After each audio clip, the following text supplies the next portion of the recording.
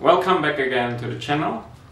On this video we're gonna discuss about the Bernoulli inequality. I'm not sure how to pronounce his name. I think so. Uh, Bernoulli. Bernoulli inequality. Which says that if we have a let a greater than minus 1 then 1 plus a to the power of n is greater or equal to 1 plus n times a. Okay, so that's the inequality says. And in order to prove this, we're gonna prove actually the stronger version of this uh, inequality, which says that let a1 an all greater than negative 1 okay. if a1 up to an are all positive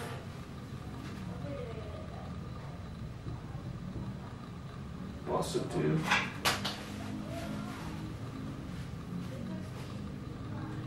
or all are negative.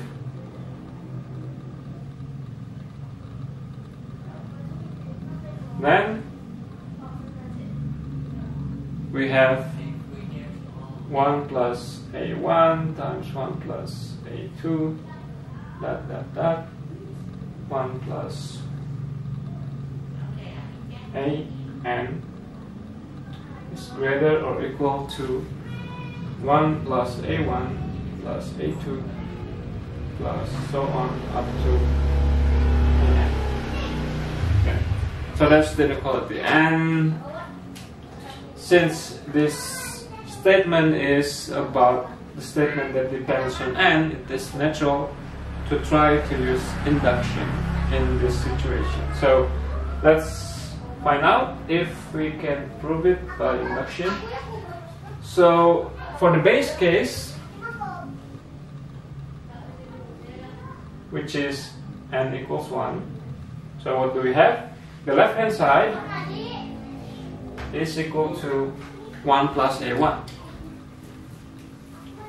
And the right hand side is also 1 plus a1. So clearly the left hand side is greater or equal to the right hand side. In fact, they are equal, right? Okay? So now, uh, let's assume that the statement is true for n. Assume the statement is true for n. Well, actually, uh, before we try the general n, we can try that can we prove the case from n equals 2 from n equals 1? And then after that, can we prove the case n equals 3 from n equals 2? Okay, and that small n might lead us to a general proof for the general n. Okay, so, okay, but let's give it a try for the general case right away. Okay, so assume the statement is true for n. What does it mean? It means that uh, we have this statement, right? Now we want to show want to show for n plus one, meaning we want to show that 1 plus a1 times 1 plus a2 dot dot dot 1 plus an times 1 plus an plus 1 is greater or equal to 1 plus a1 plus up to an and an plus 1. Okay. So this is the statement that we want to show provided that the statement is true for n, which is exactly that statement. Okay. So we can start from any side, let's say that we start from the left hand side, the left hand side of, let's say the statement is the star statement, and the left hand side of our left hand side is equal to that one.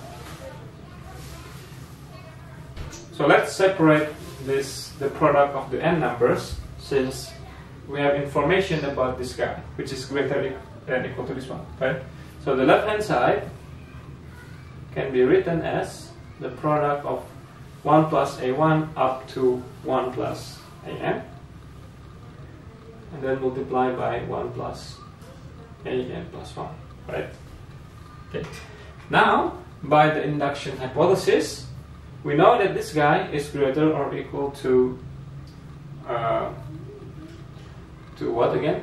To this guy, right? Greater than equal to 1 plus a1 plus a2 plus dot plus an times 1 plus an plus 1.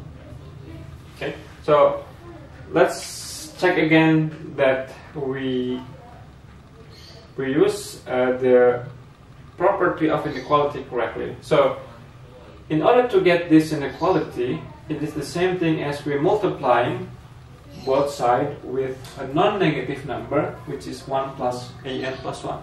Remember that the an plus 1 is also greater than negative 1. So, we have this bigger or equal to that statement from the hypothesis induction, which is exactly that statement. And then we multiply both sides by 1 plus an plus 1. So we get this expression. Okay. And we want to show that this guy is still bigger or equal to this thing. Okay, so let's find out. This is exactly 1 plus a1 plus a2. So we multiply all of this with 1 so we get we get this. And then we multiply everything here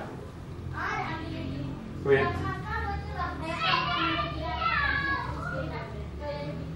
an plus 1. Okay? So then, if you are able to prove that this expression is in fact bigger or equal to an plus 1, then we are done. Right? Okay, but notice that we can have the expression a sub n plus 1 from multiplying 1 and that guy. So this is equal to 1 plus a1 plus a2 plus dot dot dot plus a sub n plus a sub n plus 1 plus a1 an plus 1 now do you notice anything the condition that we are not using at the moment is that all these numbers are all positive or all of them are negative. And because of that, or maybe to be precise, all of them are non-negative and all or all of them are non-positive. Right? So that this one is this thing, all of this thing is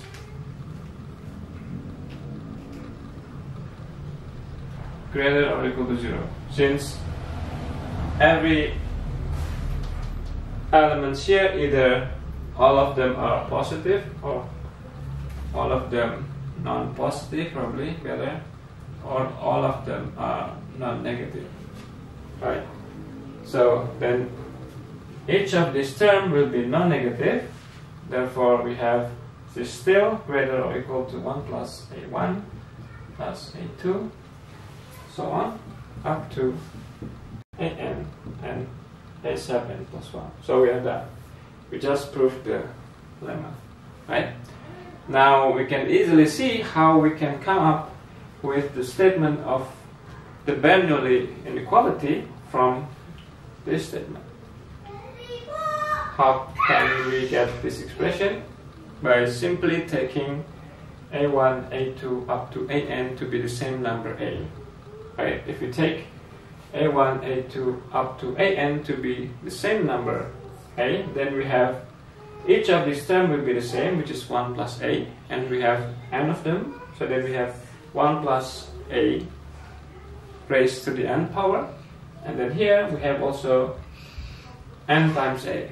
So the right hand side would be 1 plus n times a. So I think that's enough without writing, without I write it down completely, the substitution of a1, a2 up to an equals a. We can easily see that this inequality implies the inequality that we are going to show. Okay, so that's all for today. Thank you very much for watching. Don't forget to hit the subscribe button and you can give me a recommendation what kind of video that I should discuss. Okay? See you again on the next video. Bye bye.